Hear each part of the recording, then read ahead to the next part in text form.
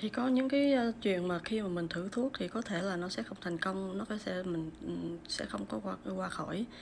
Nhưng mà có một cái vấn đề rất quan trọng của việc thử thuốc là vậy nè. Mình có thể cống hiến được cái uh, cái cơ thể của mình cho khoa học. Uh, khi mà cái thuốc mà nó không thành công thì người ta cũng tìm ra cách để mà khắc phục nó uh, để làm cho nó tốt hơn.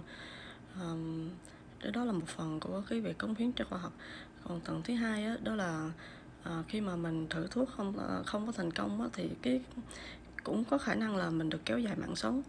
Thì cái cái à, cái việc mà khi mà cái thuốc đó, mà nó đã lên à, thử trên cái cơ thể con người rồi đó thì nó chắc chắn nó phải thử qua động vật. Nó đã thử là qua rất nhiều giai đoạn thì nó mới tới được con người. Và cái cái chuyện mà thử xong rồi chết liền thì chắc là nó không có. Nhưng mà nhưng mà khả năng mà được kéo dài mạng sống thì thì rất là cao. Uh, thì đó là một trong những cái uh, cái điều rất là tốt của cái việc uh, đăng ký vào một cái việc thử thuốc cho cho khoa học. Uh, nhiều người nghĩ là thôi ung thư thì trời kêu giờ Việt Nam mình hay nói câu là ung thư thì trời kêu ai nấy già này nọ à, mình thì không thấy vậy tại vì thí dụ như trời kêu ai nấy già mình không già được không? Mình phải yêu đời chứ. À, không biết là cái người ung thư họ nghĩ gì có có nhiều người rất là bi quan nhưng mà mình thì rất rất là mình là con người rất là lạc quan.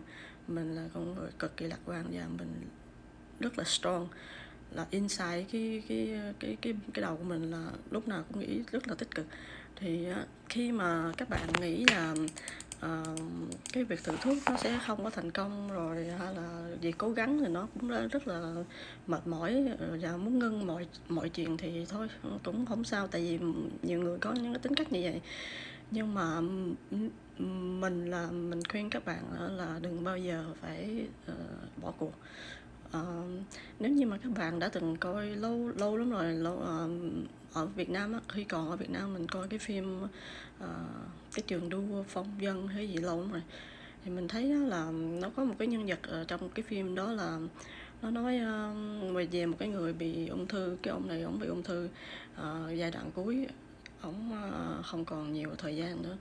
Ờ, ờ, nhưng mà ông ờ, cố gắng là để ông cũng tham quyền lực ông cũng tham cái sân si cái cái cái tài sản của ông nhưng mà cũng không sao tại vì cái cuộc đời này nó đẹp lắm. Dù là muốn hay không thì vẫn phải sống vẫn phải uh, uh, thì cái ông đó ông trong cái phim đó mình học được rất là nhiều. Mình còn nhớ nhưng mình không có nhớ chi tiết. Là ông lúc mà ông gần đến lúc mà đi mổ thì uh, người ta người ta nói là cái mổ này thì ờ, mổ mất cái mắt của, cái mắt của ông để mà giữ được cái ờ, cái mạng sống của ông thì ông nói là, thì cái mổ, lấy cái mắt của ông ra thì ông sẽ bị mù. Thì bác sĩ hỏi là như vậy thì sẽ bất tiện nhưng mà sẽ không có cứu được ông mà chỉ kéo dài mạng sống của ông thêm vài tháng thôi, ông nghĩ sao? Ờ, thì ông nói trả lời là Ờ, mỗi đi bác sĩ tôi muốn sống tôi một một ngày một giây tôi cũng muốn sống.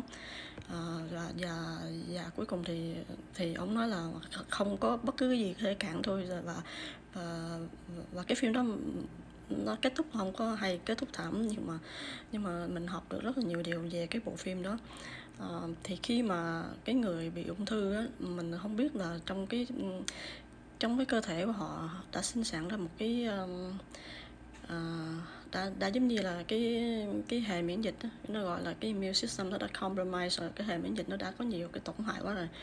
Ờ, cái khả năng mà mà chữa khỏi ung thư á, xong rồi nó ung thư uh, nó không thường nó không nói vậy mà nó chỉ nói là uh, remission thôi giống như là cái ung thư đó nó nó nó không phát triển trong một vài năm thôi, nhưng mà thường ung thư nó có tiến hóa nữa. Những cái tế bào ung thư nó nó sẽ tiến hóa, nó sẽ ở đáp được với cái thuốc mới này nọ thì thường 5 năm hay là 6 năm thì thì nó có thể quay lại, và khi nó quay lại nó sẽ mạnh mẽ hơn rất nhiều so với hồi đầu.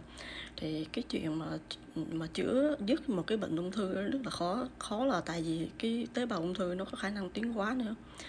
Nhưng mà à, mình đâu biết được là kéo dài thêm mạng sống của mình thêm hai hoặc ba năm thì nó lại có sản xuất ra thì thuốc cũng tiến hóa. Cái thuốc nó cũng tiến hóa nha.